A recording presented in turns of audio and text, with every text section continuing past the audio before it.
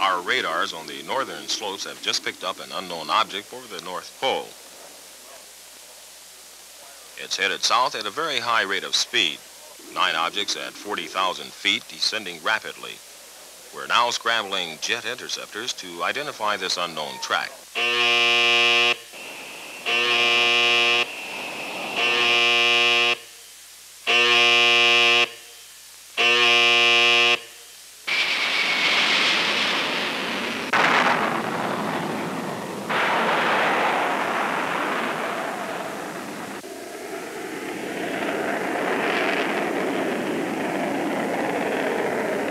Holly and Frosty squadrons, this is Christmas Control.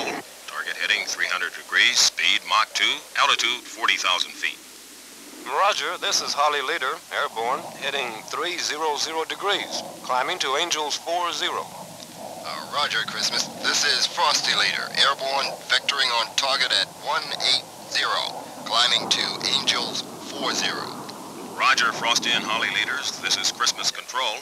Continue on present headings. Make Angels 40. Your target, nine unknown objects heading south. Copy. Leveling at Angels 40. Holly leader, your target now 45 degrees right, 100 miles. Search high and low. Uh, roger, Control. Still searching. Understand, Holly leader. Frosty leader, your target now 40 degrees right, 100 miles level. Uh, roger. No sighting yet. Hold it. I have an unknown contact, uh, 35 degrees right, 40 miles. Roger, Frosty leader. That's your target. Proceed and identify. Uh, okay, Control. I have an identification. You won't believe this. It's you-know-who. A very fat man. He's dressed in red, and he's piloting a sleigh pulled by reindeer. Roger that, Frosty leader. We pick him up every year at this time. Attention all North American Air Defense Command radar, missile, and fighter interceptor units.